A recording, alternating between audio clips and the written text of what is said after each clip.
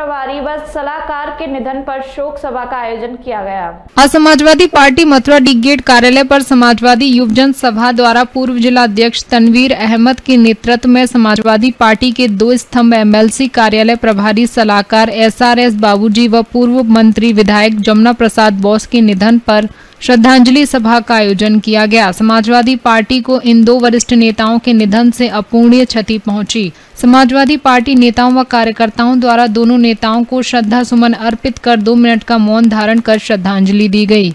श्रद्धा सुमन अर्पित करते हुए पूर्व जिला अध्यक्ष तनवीर अहमद एवं युवजन सभा जिला अध्यक्ष साहुन खान ने कहा कि एसआरएस बाबूजी उन्नीस से लगातार पार्टी से जुड़कर कार्य कर रहे थे। वे बहुत ही सरल, मधुर स्वभाव व विनम्रता के धनी थे। समाजवादी पार्टी कार्यालय प्रभारी के रूप में कार्य करते हुए उन्होंने सदैव कार्यकर्ताओं, नेताओं को उत्साहित करने का कार्य किया एवं समस्त समस्याओं का समाधान करने को तत्पर रहे। श्याम मुरारी व जागेश्वर यादव ने कहा, जमुना प्रसाद बोस पूर्व मंत्री स्वतंत्रता और लोकतंत्र रक्षक सेनानी के साथ साथ समाजवाद के सच्चे हितेशी युवा संघर्षशील नेता थे। इसी श्रृंखला में सौरभ चौधरी, लोकेंद्र चौधरी, भारत भूषण शर्मा, मुन्ना मलिक व अन्य नेतागणों ने भी अपने विचार रखे। इस श्रद्धांजलि व शोक सभा में पूर्व अध्यक्ष तनवीर अहमद, जिला अध्यक्ष सयूद साहुन खान, जागेश्वर यादव, श्याम मुरारी चौहान, रवि यादव, महासचिव लोकेंद्र चौधरी, अरुण दीक्षित, भारत भूषण शर्मा, सौरभ चौधरी, अमित यादव, रणवीर धनगर, मुन्ना मलिक, भूरा शेख, ओमवीर नोहबार,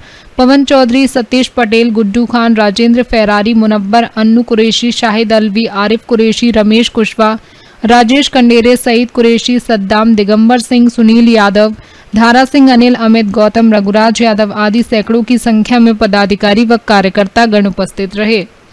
ब्यूरो रिपोर्ट, मथुरा समाचार 24 मथुरा में ट्रैक्टर की टक्कर से एक युवक की दर्द